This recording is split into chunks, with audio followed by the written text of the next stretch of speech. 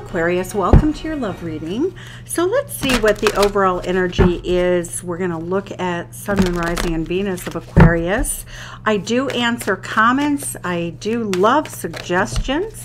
Um, and I would love to know where you're watching the video from because I traveled internationally as a career working for an airline and I would love to know where you're where you're watching from. All right, so let's see what we have here. At the bottom of the deck, the overall energy Aquarius is a King of Cups, Scorpio energy. What appears to be on the surface, it seems very calm and serene, but underneath, you're feeling nervous. There's sort of a churning in your belly here about what's going on in your life right now. You're wondering really about the choices that you've made. Are they the right ones as you've moved forward? Oh, there's a little bit of fear, but you know what? Whenever we make a change, whenever we do something bold and brave, you know, it's a little scary, and that's what I think that you are feeling. So, in your relationship at this time, Aquarius, your energy coming in is Page of Pentacles, down to earth. You're not expecting too much. You're in the energy of trying to just make things work out, being very practical. That's Virgo energy. Uh, just keeping it basic, not stressing anything out in your relationship. The Seven of Cups, you don't really know what the future is going to bring, but you're wishing upon a star. Uh, Seven of Cups is the energy of Scorpio again. So there may be some curiosity about what your person is doing. You may be keeping your options open, um, but you're open to change if you think that it would be appropriate or make you happy. But you don't know right now what you don't know. We get the Wheel of Fortune. You are taking your chances in love. We get you know, the wheel of fortune turns right side up and upside down. It's spinning the wheel like at the roulette table, and you are taking your chances on love. You're willing to just put your energy out there. You're going to see where it takes you. You're not making any definitive decisions right now. You're going to sort of just take a wait and see attitude. Your person for whom you've come to ask about, Ten of Coins. That's Virgo energy. They have a lot of certainty about what they want this is a marriage card. It indicates that your person either wants marriage with you if they're not already married to someone else. Um, but they want a very they want legacy they are looking and bringing the energy of long-term commitment into the relationship with you legacy marriage building a life together in which there's great abundance generational wealth a beautiful home good educations having the family well taken care of we have the Knight of Wands. Interesting energy. So, Aquarius, you, and I do read this as love, but it can be any relationship. It could be a work relationship. You know, it's like a buffet table. You take what fits and leave what doesn't.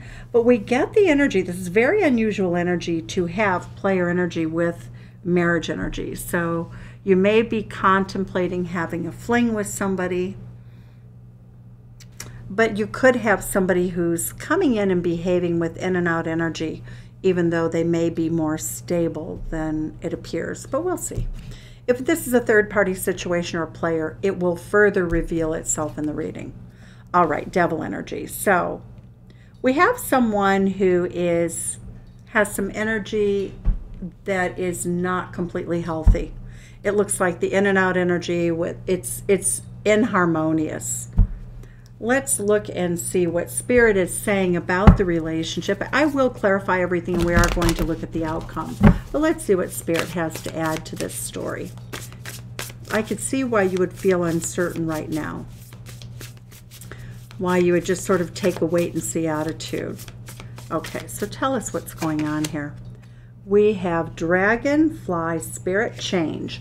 So, okay, so Aquarius, no wonder you're a bit nervous. You really don't know what the future holds. I sounded so funny. My throat started closing. Okay, you don't know what the, the future holds. Be nice to be able to talk. We have a Mercury retrograde coming up. Okay, joy, right? You want to be happy. That makes sense. Strength card. So the relationship between you and the other person is a strong relationship. It does look like you've been together for a long time, but I don't think that there's a commitment forthcoming here. I feel like somebody's holding back. I feel it, they're keeping you in this sort of uncertain energy. Maybe we will move forward, maybe we won't move forward, but the energy from your partner, person of interest, is not coming in as healthy. It's Capricorn energy. We have Sagittarius energy and Virgo energy. This person may be a workaholic and they may try to break free and see you when they can, but this also could, I think, for some of you, be a work relationship that, you know, in which you're just not sure what's going to happen. Okay, so let's see what the outcome is here before we clarify. King of Swords energy. King of Swords is Aquarius. There you are in your reading, Aquarius. You've appeared. You're staying cool, calm, collected, very intellectual, very aloof. You are a fixed energy, so it's not you're not flaky at all. You're just being very you're being very grounded. It's fixed energy. It's fixed air. And so we really see you trying to figure out the best solution, staying in your not in your heart space. You're really staying sort of aloof and looking at things from a higher perspective here. We get the energy of the Two of Coins. So it's very fluid right now. No definite decision is being made about this relationship. It's keeping your options open, your person with this in and out energy, the Two of Coins, maybe maybe even juggling two lovers um, we have the energy of the Justice card, though, Libra energy. So you're looking for balance. Uh, you want something that's fair.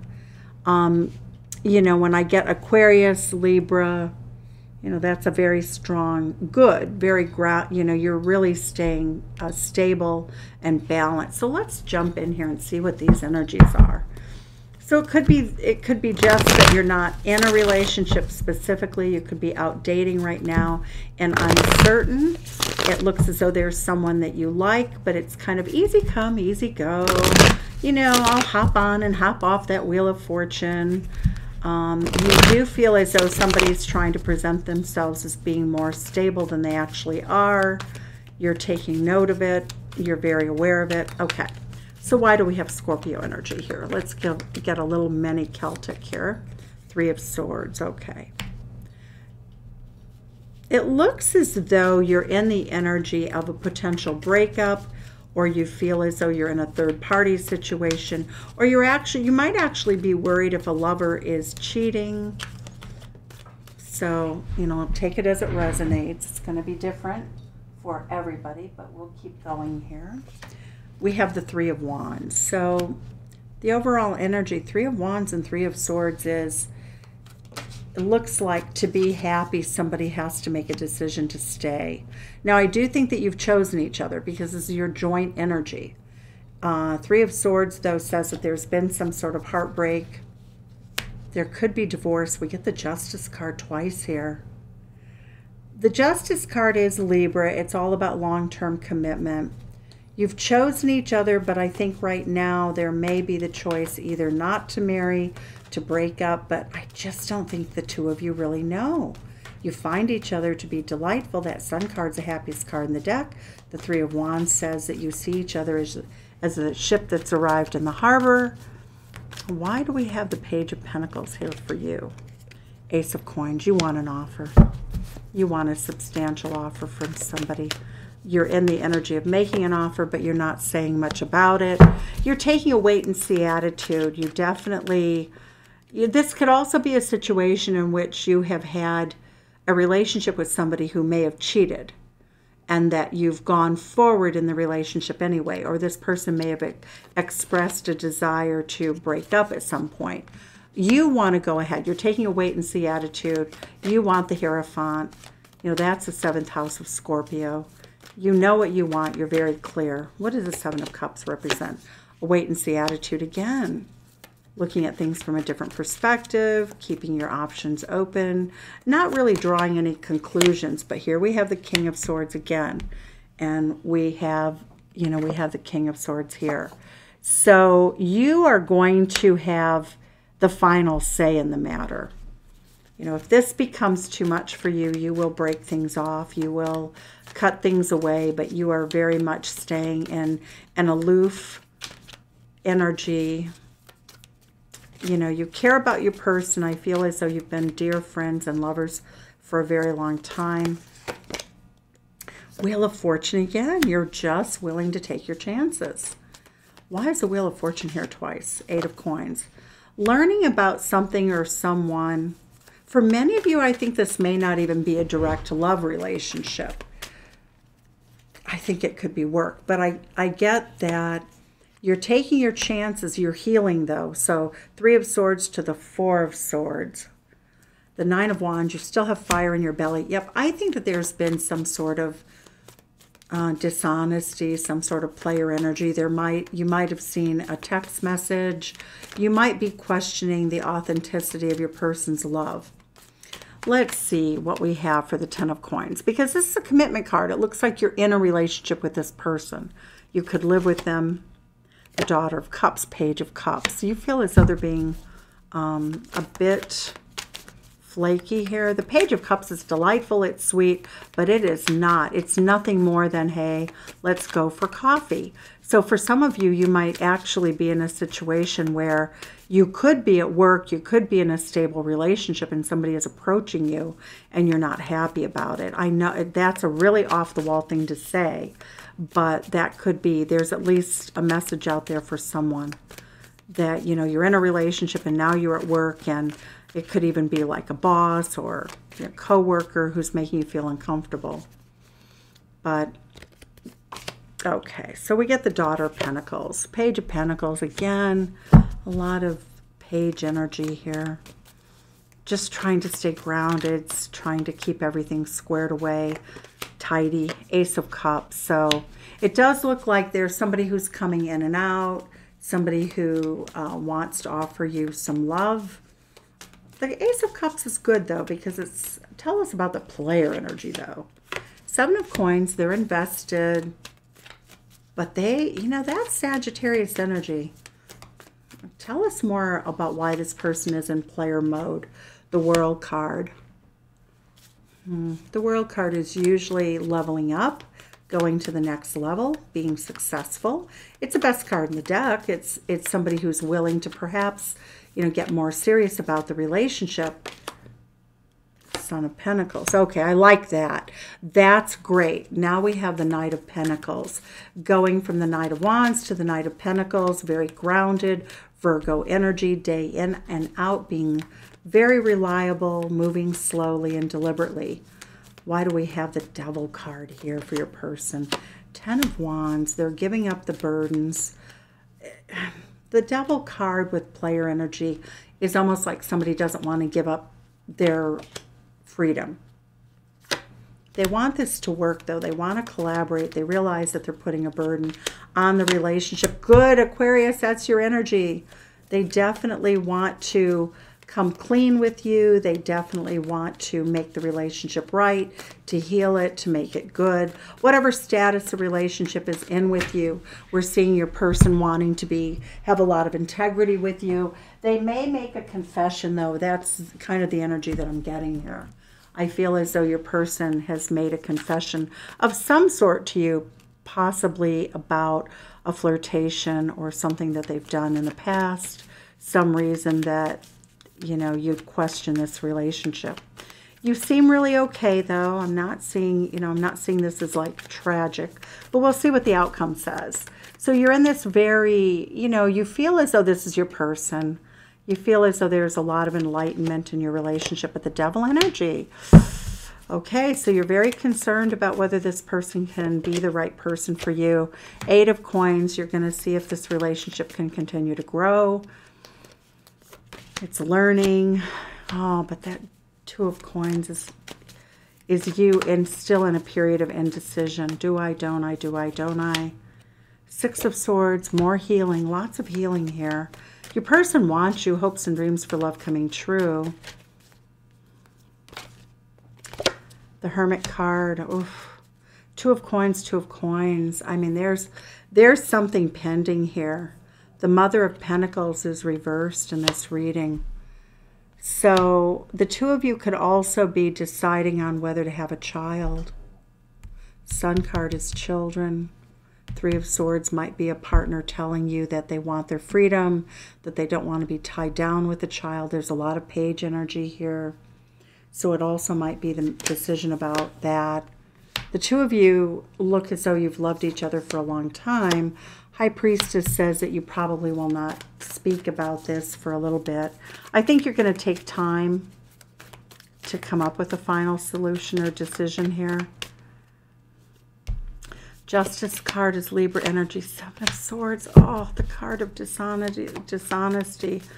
Not really coming clean. Not being really honest. Either with yourselves or someone else. But now we have the Moon card. Oh. I'm not happy about this. Aquarius, I don't know what's going on here. Tell me. My goodness. Three of Cups. There may be a friendship in this situation that is created a third party situation. But it looks like you're really you're just finishing out the week kind of as you started it. There's a lot of questions here about where this can go and it looks like you feel really vulnerable i mean i just think you feel incredibly vulnerable let's look at the heart of the fairy oracle for clarity here let's look at your person because I don't feel like this this energy is not coming from you. They have the player energy, they have the devil energy. It looks as though that's not going anywhere. You feel you really feel left alone and vulnerable. So tell us about Aquarius's person. Why do we have the player energy here? Pan somebody who has really, it's sort of like Peter Pan. I won't grow up. I don't want to go to school. I like my freedom. You know, I don't really know what I want to do. I don't know really, you know, the fixer here is also somebody who whitewashes things. So what I get here is I get you have this person who is really just not willing to take a stand and tell you what they really want. They, they brush over things. They whitewash things. They don't really want to grow up, but they don't want to really disappoint you either. I feel as though they have you. Yeah, they're of two minds. I thought so. But it is toxic for you to be in this energy of indecision. You want to move forward. The star fairy, they do see you as a rock star. They do feel as though you're just fantastic, that you're amazing. They know you're going places, Aquarius. The lady of the song. We don't read reversals in this deck. They see you as someone who has a lot to say, a lot to do, a lot of success. Tell us more about this heartbreak that's going on, please. The returning. Interesting. What's returning here, Spirit? Oh, man. There could be some repetitive energy of this person showing their butt. Oh, okay. Well, I'm going to, you know, you just have to take it with a grain of salt. The hidden one. they are a person who doesn't really like to reveal what they feel. They see you as a lady of faith. They see you as a wonderful person. They see you as a queen of the day. It's almost like your person wants you if they're going to have anybody, but they're not really good at um, being building and building legacy. You know, they claim to want that, but so we're going to have to see. Time will tell. Thank you so much, Aquarius. Bye bye.